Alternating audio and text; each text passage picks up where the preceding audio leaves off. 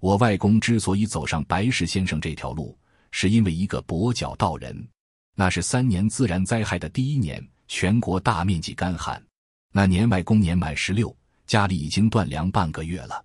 我没有经历过那个年代，我不知道当时是种怎么样的局面。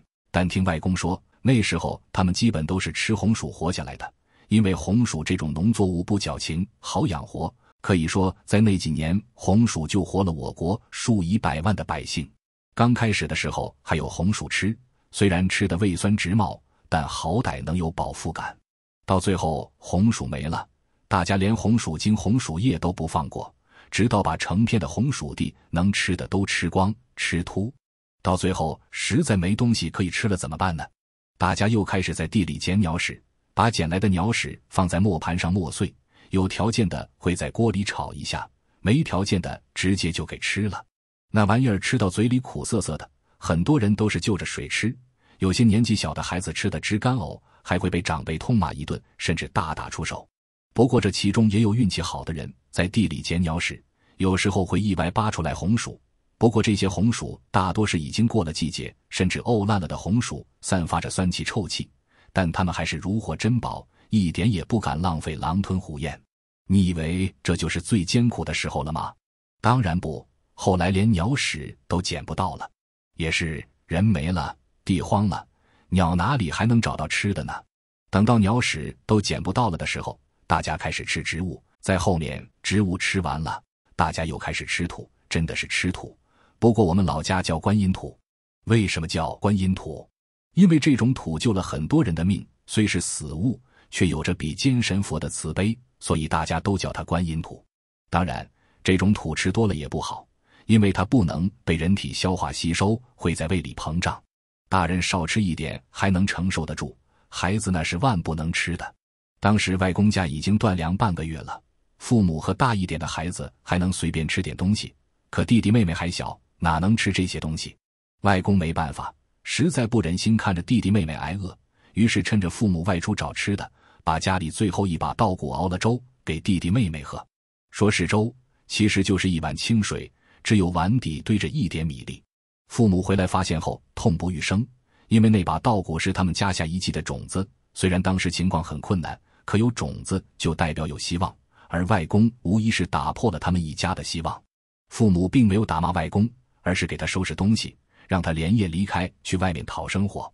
父母跟外公说：“我们实在是没办法了，今天你先走，过几天你那些兄弟姊妹都会一个个的走，留在家里只会饿死，在外面讨生活，说不定还能活下去。”于是，外公背着包袱，喝了家乡最后一碗水，一个人在夜色中离开了。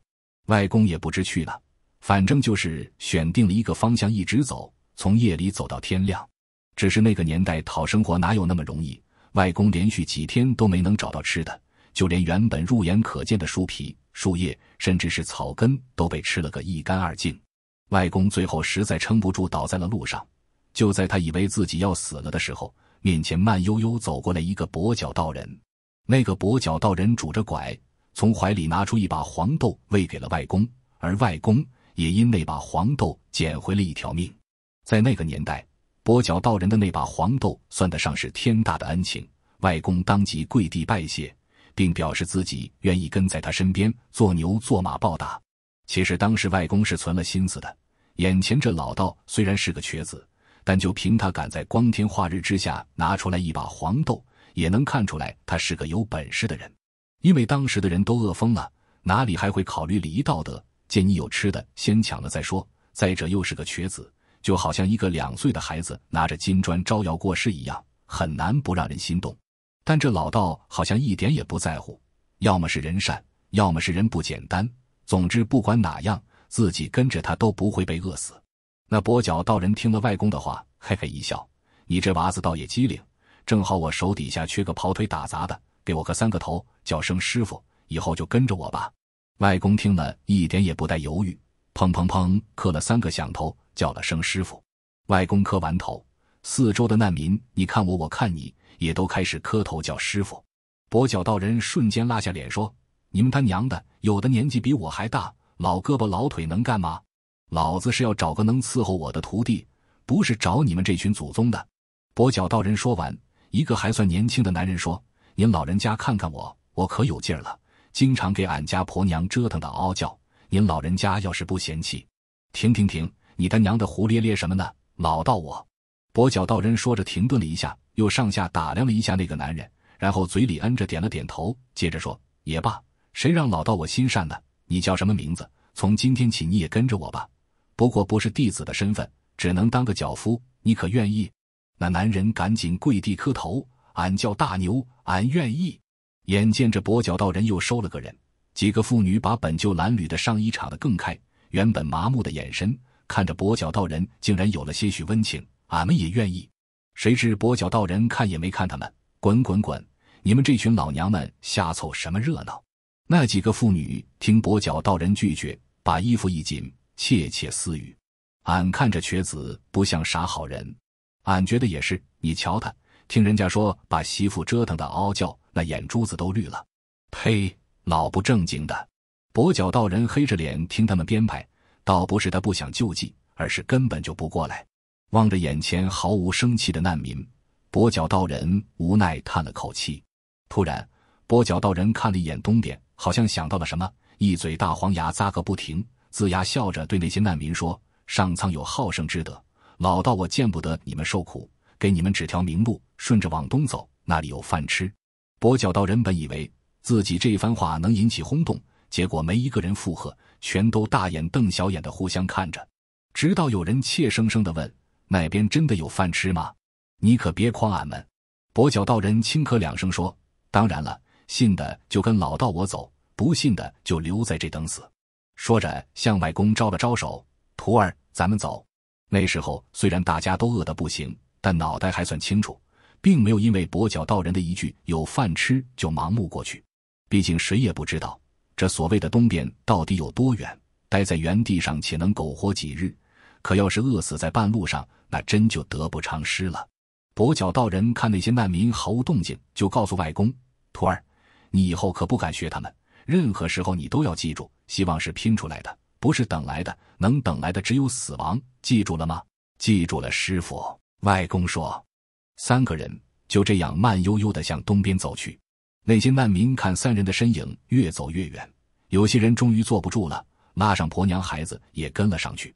人群中嘈杂了一会儿，有人说：“那瘸子虽然不像啥好人，但咱们留在这也只能等死。而且刚才他喂给那孩子的一把黄豆是实打实的，俺可看见了，黄澄澄的。”个顶个的饱满，一看就是给城里那些当官的吃的。跟着他，说不定真能吃上一顿饱饭。就这样，你一言我一语的，剩下的人也都跟了上去。路上，跛脚道人拄着拐走在中间，问大牛：“大牛，你家里人呢？”大牛低头有些伤感的说：“半个月前，父母都饿死了，俺怕婆娘和孩子也饿死，就把他们都给送人了。”跛脚道人叹了口气，没再说话。师傅。他们跟上来了，外公往身后看了一眼，说：“跛脚道人点点头，嗯了一声。”外公想起家里的父母和兄弟姊妹，也不知道他们怎么样了，是不是也都背井离乡，各自逃荒去了？也不知道他们能不能吃上一口饭。想着想着，外公有些难过，问道：“师傅，东边真的有饭吃吗？”跛脚道人敲了一下外公的脑袋，说：“你也不相信老子？”外公揉着头说：“不是不相信。”他们人那么多，就算有吃的，又能够几个人吃？跛脚道人嘿嘿一笑说：“放心吧，张财主家可是富裕的很啊。”张财主，大牛突然叫了一声：“俺勒个娘啊！爷，您老是打张财主家的主意呢？这可使不得呀！俺听说张财主家可是有保安队的，天天吃白面馍馍，身体结实的很。而且保安队长还有洋枪，还有啊，俺还听说，光他家那狗都能咬死一头牛犊子了。”就咱们这些人可打不过呀！谁说要打他们了？老道，我是去给他解决麻烦事的。跛脚道人装作高深的说：“天天有白面馍吃，能有啥麻烦事？”外公嘟囔了一声，不出意外，脑门又被敲了一下。跛脚道人停下来对外公说：“你小子既拜入我门下，也算我俩有缘。你且记着，我们这行虽不能富贵一生，但在乱世混口饱饭也不是什么难事。”那师傅。你到底是干啥的呀？外公迫不及待的问道。其实外公早就想问了，莫名其妙多了个师傅，而且这师傅看起来还极不靠谱。要不是因为救了自己一命，自己还真不敢就认了他这个便宜师傅。也就是那时候，外公才知道这跛脚道人的来历，只是知道的并不多。跛脚道人只说了自己原名张显忠，蜀地人士，自幼在道观长大，后游历四方，以给人办丧为生。很简短的一个自我介绍，但外公却总感觉自己这便宜师傅又没有介绍的那么简单，好像他并不愿意过多提起自己的过去。外公和大牛当时听跛脚道人说自己游历四方，靠给人办丧为生后，感到十分疑惑。大牛更是说：“这丧事有啥好办的？破席子卷卷埋了不就完了？”这不怪大牛，在大牛的认知里，破席卷卷给埋了，就算是有条件的人家了，顶天了有口薄棺。外公虽然不像大牛这么夯实，但也不太理解，都这年月了，谁家还有心思去给一个死人操办丧礼？跛脚道人语气严肃地说：“你们可不要小看这办丧，这里面的门道可多着呢。像诈尸、定尸、起尸、引尸，这都是有说法的。包括迁棺改坟、阴婚选配，靠的不是别人，都是知宾。丧事该怎么办？该遵循什么礼节？灵堂挂什么花？什么时辰适合上香？都有名堂。若是随便找个人办，一个不注意，说不定就会冲到死者，那麻烦可就大了。”说完，跛脚道人又看向外公说：“不过为师跟寻常之宾并不一样，要知道十里不同风，八里不同俗。大多数之宾因为风俗受限，都是偏于一隅，只能在一个地方做知宾。但为师是行走全国各地给人办丧，因此也被称作走宾。做我们这行，好处是到哪都有口饭吃；坏处是不仅要大胆心细，更要有过人的聪慧和异于常人的知识储量。”不能盲目办丧，否则跟当地风俗相悖，也是会出大问题的。外公后来跟我说，当时他并不明白做走宾需要付出什么代价，只是听了跛脚道人一句“到哪都能有口饱饭吃”，他动容了，下定决心要跟着师傅学好这办丧的手艺。不过这跛脚道人确实没说瞎话，外公出师后靠着办丧娶了媳妇，生了娃，还给家里盖了砖头房。只是相应的，他也付出了很多。经常不在家，全国各地跑活办，遇到过许许多多棘手的丧事，好几次都差点没能回来。直到退休，他的双腿还是常年处在浮肿状态。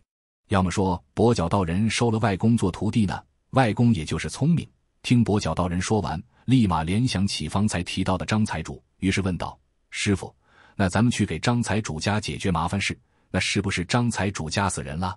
跛脚道人看向外公。满意的点点头说：“没错，而且还是一桩大买卖。”大牛悻悻问道：“有多大？”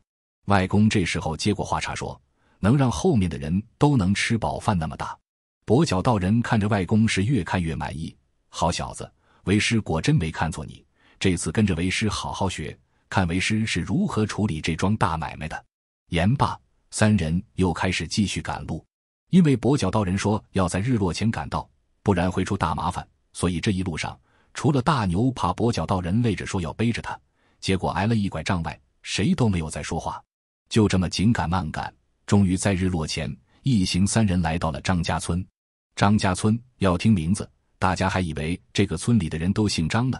其实不是，这个村里只有张财主一家才姓张，其他姓氏的人都只是张财主家的农工。说白了，张家村不是因为姓张的人多才叫张家村。而是因为张财主姓张，才叫了张家村。由此可见，张财主家在当地是有多大的地位。看到这，有人可能会问：当年不是斗地主打豪绅吗？怎么张财主家还能有这么高的地位？我告诉大家，你们要是这么想，可就片面了。因为这个问题，我也曾问过外公。外公说，所谓的斗地主打豪绅，那都是抓些小鱼小虾当典范。真正的地主豪绅，哪是一般人能动得了的？张财主虽然算不上什么特别大的地主豪绅，但当时天高皇帝远的，谁又能斗得过他？更别提他手里还养着一批民兵了。而且那个年代也不像大家想象的那么艰苦。三年自然灾害对于穷人来说是灾害，但对于富人来说，他们就是开了上帝视角的看客。别看那时候特殊，但有钱人也不少，特别是那种往上数几代都是豪绅的大家庭，更是富得流油。张财主家就是属于这么一种。刚到张家村，外公就听到里面传出的哀式唢呐声，随即大牛抽了抽鼻子，眼睛顿时亮了起来，指着村里狂喜道：“爷，小叔，白面馍馍的香气！”大牛口中的小叔就是外公。一开始，外公觉得别扭，大牛跟自己父亲年纪差不多，长得又壮实，叫自己一个毛头小子小叔，总觉得哪里怪怪的。后面还是跛脚道人对外公说：“他这声小叔你受得起？”于是外公这才接下了大牛的这声小叔。出息，这才哪到哪，还没吃上你就满足了。跛脚道人一副波澜不惊的样子。这时候，外公指着村口两个人影说：“师傅，他们有枪。”外公看到村口有两个人背着洋枪，好像是在站岗，他们应该就是大牛所说的保安队了。那个年代，但凡有点家底的人家，都会养一个保安队，因为人被饿疯了，什么事都能做得出来。养个保安队也是为了震慑那些难民。不然，那么多难民乌泱泱的涌进来，不管你是地主还是豪绅，都能给你抢得一干二净。跛脚道人摆摆手说：“无妨，你们在这等着，为师去交涉一番。”说着，跛脚道人理了理身上破烂的道袍，径直走向了村口站岗的那两人。外公和大牛也不知道跛脚道人能不能交涉好，毕竟看他们的样子，可不像什么好惹的主。果不其然，没一会儿，跛脚道人就颠吧颠吧的回来了。怎么了，师傅？外公问道。跛脚道人有些愠怒，手里的拐杖狠狠敲了地面几下，说：“他娘的，老子的活竟然被别人截胡了！”其实这也怪不得跛脚道人生气，因为在支兵这行，尤其是走兵，有个不成文的规矩，就是一丧不用二回。什么意思呢？意思是说，这一个丧事不能用两个白氏先生。除了这个外，还有一层含义，是说一个丧事不能办两回。这也是后来外公跟我说的。他说，走兵是靠脚吃饭，通常去到一个地方会提前找好生意，并在当地住上一段时间。这个所谓的生意就是将死之人。做走兵最重要的一项技能就是要知道怎么找生意，不然你本事再大，找不到生意做也是白搭。而我们走兵找生意，这里就需要用到一官、二文、三相问。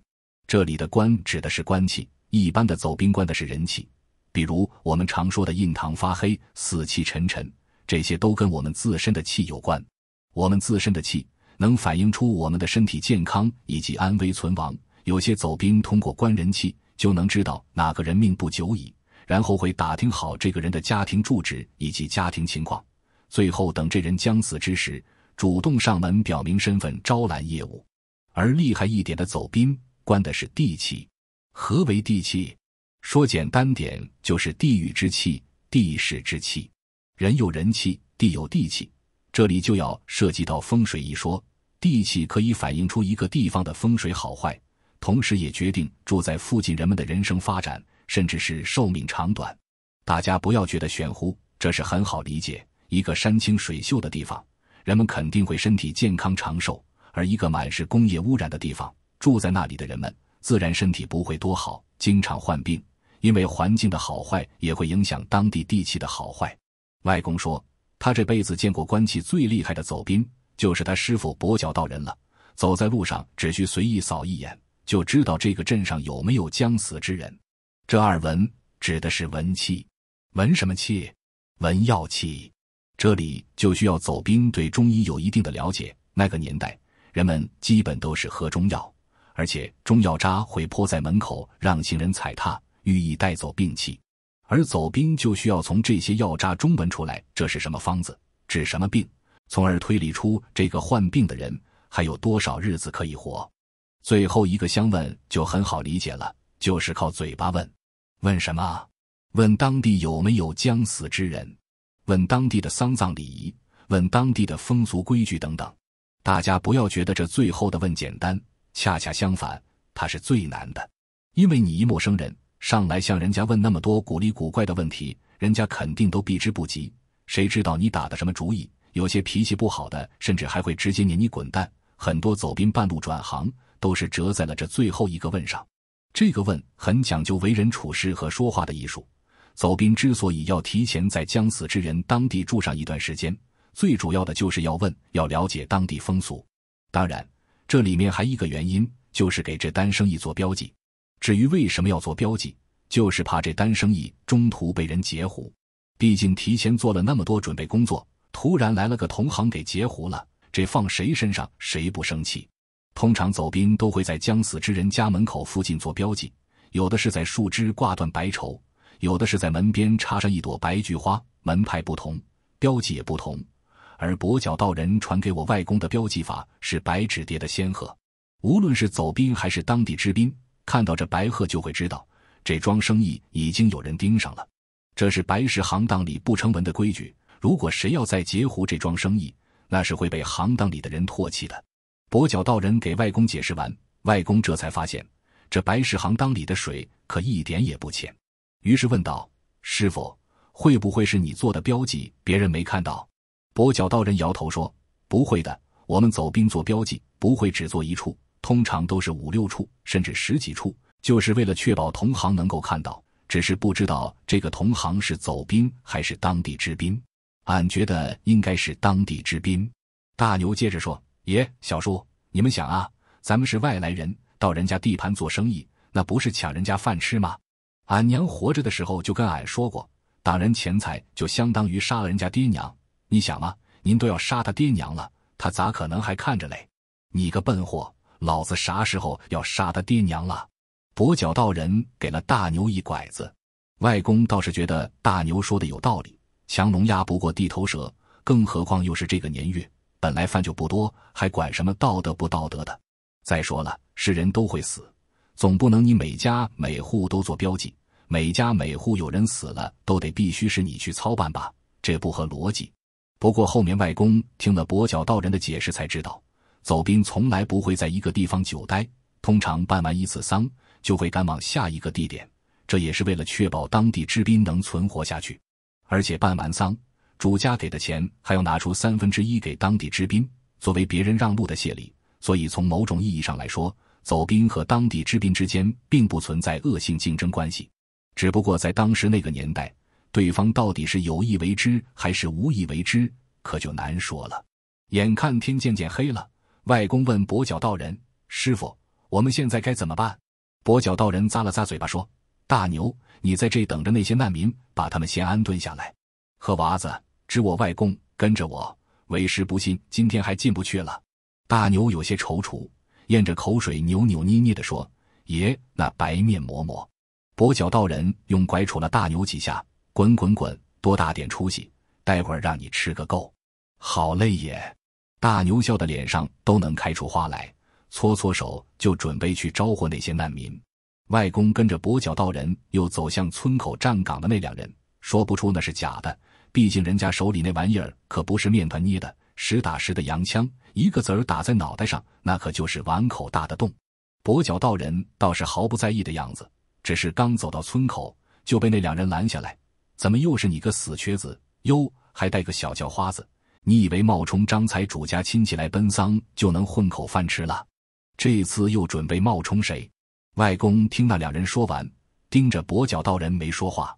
跛脚道人老脸一红，咳嗽两声说：“徒儿为何这般盯着为师？为师可没说瞎话。他张财主姓张，为师也姓张。五百年前怎么就不可能是一家了？”外公被跛脚道人这番解释说的也是没脾气，谁让自己摊上这不靠谱的师傅了呢？赶紧滚！再不滚，老子毙了你！其中一人晃晃背上的洋枪说：“跛脚道人似乎一点也不畏惧那人背上的枪，冷哼一声说：‘好大的口气！便是张财主，他也不敢当着我的面说这话。你们倒是威风的紧。’那两人见跛脚道人不吃这套，上来就要推搡。这时从他们后面传来声音说：‘怎么了？让你们站岗，推推搡搡的像什么话？’那人语气有些不悦。站岗的两人瞬间跟泄了气的皮球似的，点头哈腰道。”东家是这死瘸子，非说是您家远房亲戚来给老祖母奔丧。那人抬头打量了一下跛脚道人，接着看了外公几眼，笑道：“哦，我怎么不知道我家有什么远房亲戚？”那两人赶紧说：“这死瘸子就是来骗吃骗喝的，我们已经赶走一次了，这次又来了，还带了个小叫花子。”外公也看了看那人，这应该就是张财主了。他身上穿着绸制的衣裳，头上戴着地主帽。手指上还套了个大玉扳指，地主豪绅的姿态一路无疑。跛脚道人呵呵笑道：“这亲戚嘛，什么时候都可以做。我们师徒二人这次来，主要是想跟张财主结个善缘。”张财主转着眼珠子，在思考跛脚道人的话，一时之间他也拿不准这一老一少究竟是什么意思。说实话，这些天他已经赶走了好几批冒充自己远房亲戚的难民，他们被赶走的时候都下跪磕头求口饭吃，而这一老一少却跟他们不一样。尤其是那瘸子，看起来年纪苍老、邋里邋遢的，但眼睛里一点也没有那种难民的惊慌和麻木。张财主搓着下巴的胡须想了想，接着朝站岗的两人摆摆手，说：“让他们进来。”外公听到这句话，内心欣喜不已，好像看到了白面嬷嬷在向自己招手。可接下来就听张财主接着说：“正好还缺俩哭丧的。”张财主的如意算盘打得很妙，自己虽然吃不透这一老一少二人。但也不可能白白让他们混饭吃。之所以让他们进来，这一来嘛，如果那瘸子真有本事，用一顿饭结个善缘，倒是划算的很；这二来嘛，如果这俩人只是骗吃骗喝，那肯定得付出点什么，正好让他们给老祖母哭个几天丧，知道自己家的饭可不是白吃的。毕竟自己叫张财主，可不是叫张善人。张财主如是想着，然后把跛脚道人和外公领进了村子里。进了村子。外公这才发现，这村子可还真不小，大概有个五六十户人家。方才在外面只能听到丧事的唢呐，等进了村子，家家户户门头都挂着白金碗花，颇有点举村哀悼的意思。外公瞥了张财主一眼，心想：日本鬼子都投降了，你一个地主豪绅还贼心不死，做着土皇帝的美梦。像这种人就应该拉到天安门，当着人民群众的面去枪毙。不过心里骂归骂。当闻到空中蒸白面馍馍的香气后，外公还是忍不住咽了咽口水。张财主的家在村子的正中心，高门阔院，门前还搭了个高台，大概三五个人在上面鼓着腮帮子，吹着哀乐。进了院子，里面人很多，有的在搭棚子，有的在刷盘子，估计这些都是村里人。见到张财主，个个点头哈腰叫东家。来到堂屋，那里是停灵的地方。北方农村停灵基本都是在堂屋。堂屋地面铺了一层麦秸草，逝者的尸体放置在上面。几个宗亲一边烧纸一边哭，只是这哭声在外公听来多少有点敷衍了。张财主带着跛脚道人和外公来到堂屋，刚要介绍，就见跛脚道人扑通一声跪在地上，顿时嚎啕大哭，一边哭一边还喊道：“老嫂子哀，睁开眼哀，命苦哀。”跛脚道人哭的不仅声音大，还富有节奏。一时间，连那些本来还在哭的宗亲都停了下来，因为这么一比，显得他们这些做晚辈的也太不实诚了。外公被跛脚道人这番操作给吓了一跳，一时之间也不知道自己该干啥，琢磨了片刻，也跪了下来哭。一开始外公哭不出来，后来想着父母和兄弟姊妹，也不知这辈子还能不能再见了。想着想着，外公的眼泪再也止不住了，哗哗直流。这一老一少悲戚的哭声。给这场丧事增添了许多肃穆感，这一哭就是哭了俩钟头，到最后外公实在是没劲儿了，眼泪怎么都挤不出来，干脆就哼哼。而跛脚道人则是靠在门板上假寐，时不时突然嚎上两句，然后继续假寐，然后再嚎上两句。不过张财主那些宗亲倒是没说什么，估计也是吵了他们俩小时，巴不得这爷俩能消停点。入夜的时候。张财主差人给跛脚道人和外公送来了四个白面馍馍，外公馋的口水都要流下来了，接过来就是狼吞虎咽，而跛脚道人却好像对那白面馍馍提不起一点兴趣，嘴里还嘟囔着：“这他娘的也太小气了，王老头子，我嚎了那么久。”外公三下五除二就把那俩白面馍馍炫进了肚子里，似乎觉得意犹未尽，舔着嘴边的面屑咂巴个不停。跛脚道人见了。将手里的馒头丢了一个过去，外公当然不肯要，但还是拗不过跛脚道人，接过来却没吃，而是揣进了兜里。跛脚道人看着外公，外公有些不好意思的挠了挠头，留着给大牛吃。你小子，跛脚道人说着，看了看愁墨般的夜色，道：“估计今晚咱爷俩的守灵喽。”守灵，外公喃喃道，接着才发现四下已经无人。张财主那些宗亲说去吃晚饭。结果到现在一个都没回来，院子里的那些帮工也都离开了。偌大的院子，只有大门敞开着，时不时有风吹过，将堂屋点的白蜡烛吹得左摇右晃，吹得外公心里毛毛的，下意识慢慢挪动双膝，想要远离逝者。跛脚道人看了外公一眼，说：“怎么，害怕了？”外公虽然不想承认，但还是点点头说：“有点。瞧你这怂胆，老子像你这么大的时候都敢跟死人睡觉了，放你身上还不得吓得尿裤子？”跛脚道人没好气地说。外公被训得不敢吭声。跛脚道人似乎觉得自己有些严重了，看了看外公，意味深长地说：“和娃子，你记着，死人没什么可怕的。将来你要面对更多的死人，有的甚至连个完整的身体都没有。而我们作为走兵，这些都是必须要经历的。但不管什么时候干我们这行，只要把事合理给做到位了，那就不会出什么问题。可要是做不到位，不仅会害了主家，还会害了自己，甚至祸连三代。”外公将跛脚道人的话谨记心中，郑重的点头，说自己知道了。本来那晚外公都做好要守灵的准备了，结果没多大会儿，门外传来几个人的说话声，接着就见张财主和几个宗亲带着一个身穿道袍的男人走了进来。外公打量着那个男人，而跛脚道人只是抬抬眼皮，扫了一下，接着又闭着眼睛靠在门板上假寐了起来。外公从张财主的谈话中听出来，他叫罗道人。应该就是他结了师傅的壶。罗道人进来，先是看了跛脚道人和外公一眼。当他看到跛脚道人身上破旧的道袍时，眼神里似乎有些敌意。张财主倒也是个玲珑人，知道罗道人在担心什么，笑着解释说：“他们是我请来给老祖母哭丧的。”罗道人听了张财主的解释，神色这才缓和了些，边走边点头说：“张财主一片孝心，逝者在天有灵，必定会庇佑子孙后代的。”张财主听到这话，很是受用。接着说：“罗道人，这里都是按照你的意思布置的，你看哪里有什么不妥的地方？”罗道人打量了一圈，说：“没什么不妥的。墓坑呢？挖好了吗？”张财主点头说：“按照你的吩咐，入夜时开始挖，现在差不多已经挖好了。”当跛脚道人听到张财主说墓坑挖好了的时候，突然睁开了眼睛，但很快又闭上了。罗道人点点头说：“好。”先带我去看一下墓坑，确认一下方位。今晚就不要安排人守灵了，贫道我亲自来守，也算送逝者最后一程。张财主听完，又是一番感谢的话，接着领着众人就出去了。坏喽坏喽，这下麻烦大了。众人走后，跛脚道人睁开眼睛，缓缓说道：“外公问道，怎么了，师傅？”跛脚道人望着众人离开的方向说：“为师来之前了解过，当地有个习俗，一个萝卜一个坑。”这坑提前挖好了，可没有萝卜躺进去，这怕是会出事咧。一个萝卜一个坑，这个萝卜就代表逝者。墓坑已经挖好了，可逝者今天却不下葬，这明显有违当地丧葬规矩。做白事先生最重要也是必须要遵守的，就是当地丧葬礼仪和风俗规矩。有些东西你放在南方管用，可拿到北方来就不顶用了。这叫一方水土养一方人。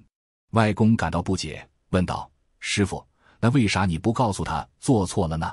跛脚道人回答说：“还记得为师之前跟你说，一丧不能二回吧？”外公点头说：“记得。”跛脚道人接着说：“一个丧事不能用两个白事先生，就是怕互相拆台。如果为师现在指出来，那为师就是拆他台。等他搞不定的时候，为师再出来解决麻烦，那为师就能取代他，他也不会心生怨言。”可那要是师傅您解决不了呢？外公突然问道。